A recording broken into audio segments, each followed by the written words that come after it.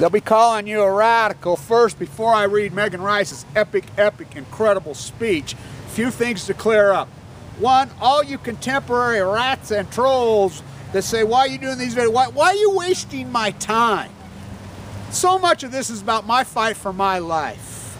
Showing the playbook on how to survive cancers against all odds. AML, leukemia, so many are going to get it. So much of this is historical, factual documentation of the fact as you sheeple don't see but future generations are going to see. The post-ignorance generation so much of this is to apologize to them that all us baby boomers did not participate in the military industrialized complex poisoning the earth destroying the economy destroying everything. You i mean so much of this is historical. So much of this is you can't see. You're too dogmatic to see anything. And you rats and trolls be careful who you fuck with I want to read Megan's incredible. Before I read it, thank you to the Outlaw Project. Thank you to the Alliance for Peace Y12 at Oak Ridge in Tennessee. Thank you for Mother's Peace down there at Diablo Canyon. Thank you, Wasserman. Them are some great articles you wrote. I got to tell you, I really loved your article you wrote about Obama's drone attack. I, this needs to be historically stated today. As Megan Rice being sent for prison for trying to save your life, she didn't break any law. She says it perfectly in her speech. It needs to be documented in history because nobody's documenting, uh, you know, people like Wasserman are documenting history. You know, people like Jan Brooks are documenting. I have from day one. As I stood right here, I stood right here says, oh my God, leukemia, it's going to give you leukemia, leukemia right here, right here in Utah. Now we know I was being hammered. No wonder I got leukemia. So many of you are going to get it. And people say, Kevin, you need to rest. Let me tell you about rest with what I have in my body. Oh no, this wolf is chasing. I know the Cisco, I got pretty good results yesterday. The best I've had. I got a long ways to go. Long talks with my doctors, they know that it likes to rear right back up. So a lot of these people, they go home and you know, they think they got it whipped and they have their wife, you know, babysitting them and catering to them and vice versa. I've watched it. This fight doesn't work this way. This fight's artistic. This fight's intense. As I, you know, we had a long discussion at the hospital about my wolf spirit yesterday. Oh boy, and I got to tell you, this is extremely emotional. I'll try to get through it without breaking up. I was in the courtroom. The media that reported this historical time was local television, and myself. They, it needs to be said right here, right now. As Carlsbad WIPP, the pilot program, the National Report Story is leaking, as all this nuclear nightmares go on, nuclear fission. Oh, we opened the valve and just let it in. Accidentally, the valve's been open the whole time. As that was happening, and I think Barack Obama, Moniz, all these people are going to come to regret this so dramatically, what they did. They approved the loans for the nuclear plant, the first one in 30 years. So what does that mean? That means you and I are paying for our own demise and our death.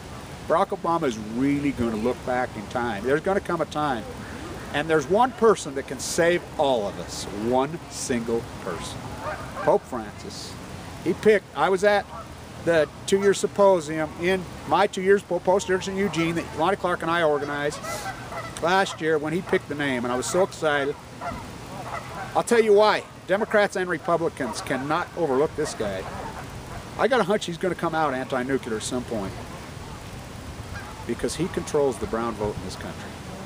And we've seen these neocon Kool-Aid fools who turn their back on the brown vote. Oh, are they going to pay? Barack Obama, Hillary Westinghouse, Rodham, Barry Antoinette, let them eat yellow cake. You know, Megan Jr. said when he'll get involved when pigs fly. Yeah, maybe. But we got to keep trying. He's our only hope. If he comes out, the Democrats nor Republicans can, whoever freaking goes against him is done politically forever. Of course, they both need to be done politically ever because they're the same grotesque military industrialized complex. I'm going to read this. I'll try to get through it. This is powerful, this is moving, this is historic. Here is the prepared statement Megan Rice read to the court on Tuesday, February 18, 2014. Part 1. As I said, observing the facial expressions of participants presenting in the hearing of January 28, which I was in that courtroom sitting there on the 28th, I sense a clear sense of shared mental reaction during the arguments of the restitution evidentiary table submitted by the prosecution. I think we felt something of a master's compassionate concentration with the hypocrisy at this accusers. Luke 6, 5, 11, Mark 4, 20, 30. I was stunned that eight months had lapsed with apparently no conversations out of the court between the opposition sides and the court in the case and would have imagined that it had been resolved by negotiation during these delays and regulated to where it deserved to be disposed unworthy of evidence in any court of law. This very document, hold up Exhibit 1, is self-incrimination evidence for all of the world to see. It represents the microcosm, an enormous cloud of deception. Exaggerated ex expeditions in time, energy, and cost under which Y-12 has hidden these 70 years since its inception. It reveals but a sample of the extortion by unaccountability for the unaccountability, profiteering, and blatant miscalculation over Y-12's entire evolution till today draconian extortion of the hard-earned labor of the people in this country over the last 70 years and perhaps before. It provides evidence why we are in deep trouble today. A perfect analogy to what Greg spoke of as the emperor's new clothes. Why can we not call a spade a spade? Why can we not admit the bare truth and just get on with what is humanity's possible transformation, this humanity constructed, horrified monstrosity and eternity which has officially, unimpeded, involved into risk of perilous proportion to the very existence of this sacred planet and life as we have known it, for, though, for whose transformation we already long to give our lives. Who or what is capable of naming and being heard to name the emperor's new clothes. If not already named in countless ways and forms, when will we listen and face the truth? Part two. Good morning. Thank you, Judge Thapar, and each of you in this beloved community. We are so grateful this morning, the depths of our hearts, grateful to each of you for gracing us from your very busy lives. To be here once again, you coming here from Kentucky, Your Honor, and up from New Orleans, Bill and Anna, down from Michigan's Upper Peninsula, Anabel and David, faithfully giving time and so much zesty, passionate energy, and legal expertise in popular education for the sake of justice's sake and truth on current status and in international and domestic law, and here also from a crowded date book at Yale Schools of Divinity and Forestry and the, and the Environment, Dr. Mary Evelyn Tucker, to witness on behalf of our entire planet. A beloved community joins us in spirit from the four corners of the earth, speaking truth from people in places like Seychelles, Australia, New Zealand, Papua New Guinea, Denmark, Finland, France, Belgium, Qatar, Bolivia, Alaska, Africa, Scotland, Ireland, Montenegro, Sierra, Sri Lanka, Mauritius, Berlin, and many places in between. These messages from the Afghan Youth Peace Volunteers came by post for this court. May I deliver them now. It is indeed fitting as the issue here before us today has touched with perilous risk for 70 years the very existence of our sacred, lo lovely home which we all share and try to treasure, our planet Earth, which many of us revere as mother. So thank you. We treasured the time, all you give in attending the trial in one way or another. This trial exposed quite grotesquely in the evidence, thanks of the prosecution's witness, that the truth about what is happening.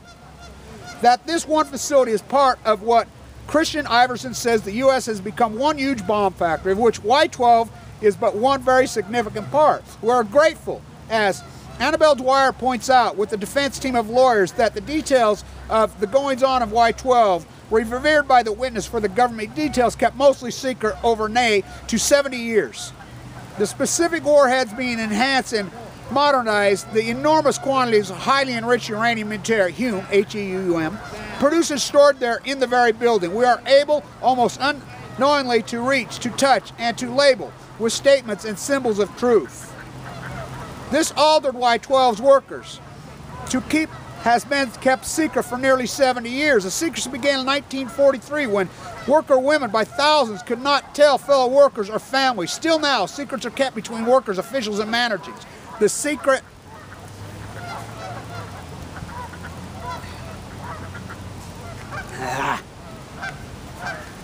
The secret prevailed.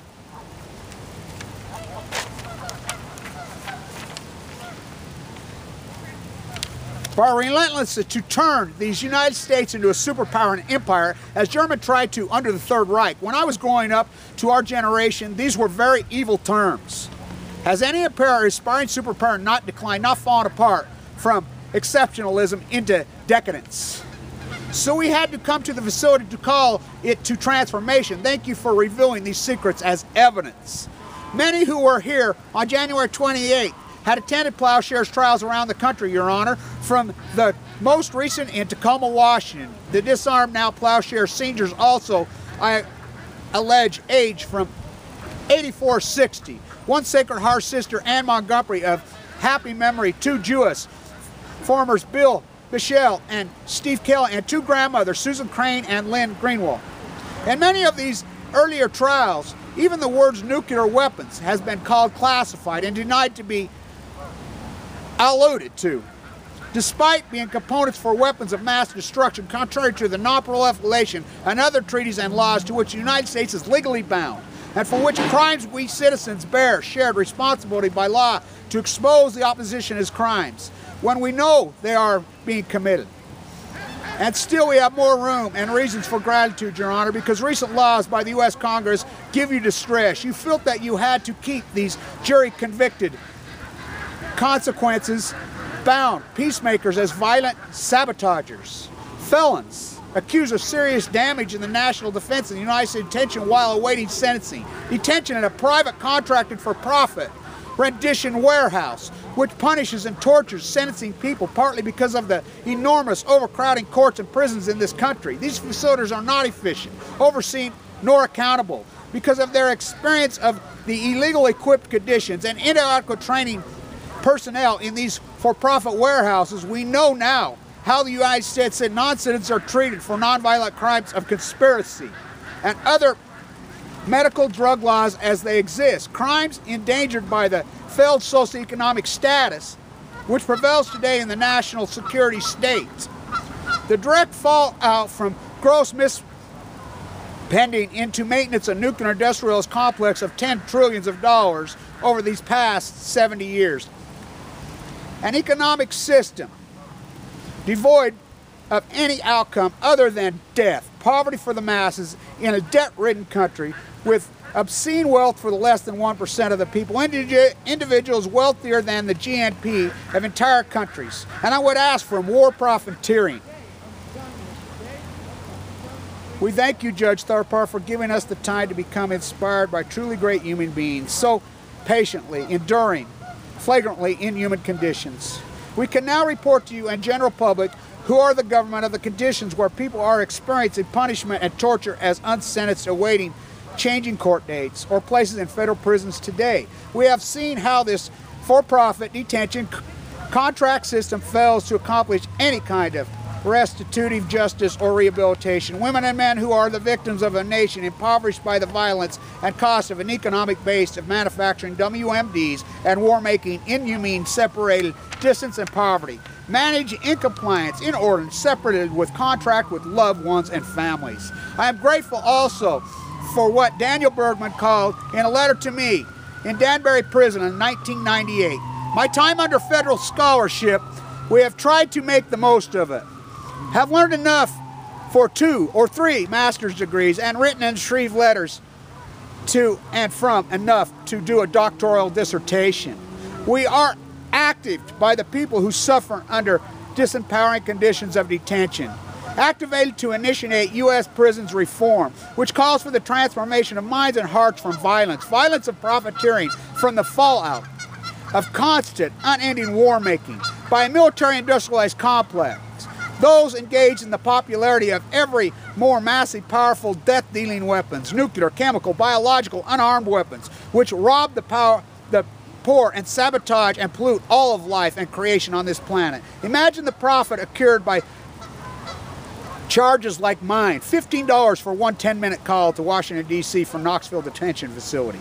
10 instant calls can be close to $3 each for 10 minutes. Or a sick call, which can cost up to $15 to obtain a drop previously sanctioned prescription for a nightly Claritin tablet for controlling an allergy condition. Medical conditions denied to pass on from facility to facility as inmates are moved along to prisons. We are energized to call for life enhancement altering projects like disarmament, depleted radioactive isotopes and toxins, and those which meet real needs social, cultural, spiritual, environmental, restitution, healing, harmony, balance, and peace in nonviolence. May I close with a prayer and rendition of the ancient Hebrew country song, PS 98, according to Nan Merrill. As again, we thank you, Judge Thorpe, our honorable jurors, our defense team, lawyers on behalf of the government, whose crimes we as law abiding citizens attempt to disclose, oppose, and heal. And for each of you, you and the most honorable, beloved community, a prophetic peacemaking regiment from who we receive hope and inspiration and courage to carry on as grateful participants in your honorable presence. Let us sing to the beloved new song. For love has done marvelous things by the strength of your indwelling presence, your right hand. We too are calling to the great things. We are set free through love's forgiveness and truth. Yes, for the steadfast love of faithfulness our ever present gifts in our lives, all the ends in the earth we have seen, the glory of love's eternal flame. Make a joyful noise to the beloved, all the earth. Break from the into grateful song and sing praises, sacred the land, sacred the water, sacred the skies, holy and true. Yes, sing songs of praise, extolling love's way. Lift up your hearts with gratitude and joy. Let the voices of people begin blend in harmony. In unison, let the peoples magnificent that belong. Let the waters clap their hands. Let the hills ring for joy before the beloved who radiates love to all the earth. For love reigns over the world, and true and justice bring an order and balance, harmony to the creation. In keeping all this and just and fair, and we may go forth as your holy right to do things in love. MK3, LK7. Megan then asked the judge if it would be all right to sing a song. He, he agreed, then was taken aback as she turned to the audience and they rose to join her in singing. Sacred the Earth. Sister Megan Rice, February 18, 24, U.S. Federal Courthouse, Eastern District of Tennessee, Knoxville, Tennessee. I think the judge even wanted to cry. I think this is such a powerful, maybe, you know, the end to my three year fight. You know, Megan Rice, this whole capitulation, the cancer in my body, standing right here saying to give you the cancer so many is, it's been such an emotional time for me for three years, for all of us, for all of us. All I can say is how powerful is she and how iconic and time and history and space and what we have done. My path, her path, so many of our paths. We've done the right thing. You know, you, the trolls and the rats and the people that can come to us and whatever, it doesn't matter. It doesn't matter. We've done the right thing. I know my soul and I know my heart we've done the right thing. It's been so emotional. I've kept my composure through this thing. I was given two months to live. I mean, fighting back the tears every day, fighting back the wolf every day. You know, my activism, it had to be. Megan had to do what she did. Greg and Michael had to do what they did. I've had to do what I did. It just had to happen. Time and history and space will sort it out. You know, let our spirits and let our souls be free my spirit and soul is so free right now. You don't even know. It's free. You know, people like Megan Rice has set me free.